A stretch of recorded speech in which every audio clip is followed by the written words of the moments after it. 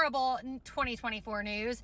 The cicada apocalypse is happening this year. So the 13 year and the 17 year cicadas are rising up from the dead together and they are going to be popping off at the same time. I don't think I've ever hated anything more in my life. These things are assholes. Like I remember in 2007 hitting them with baseball bats. They were freaking everywhere.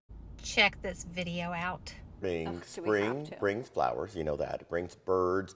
And for the first time in centuries, billions of cicadas.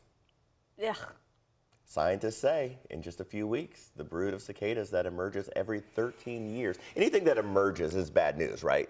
Yeah. Nothing ever No. good comes when somebody emerges. Also, the brood that emerges every 17 years, they're all about to pop off at the same time. The last time that happened was in 1803, which we all remember vividly, right? While cicadas are not harmful, they can be loud. Some can even reach over 100 decibels.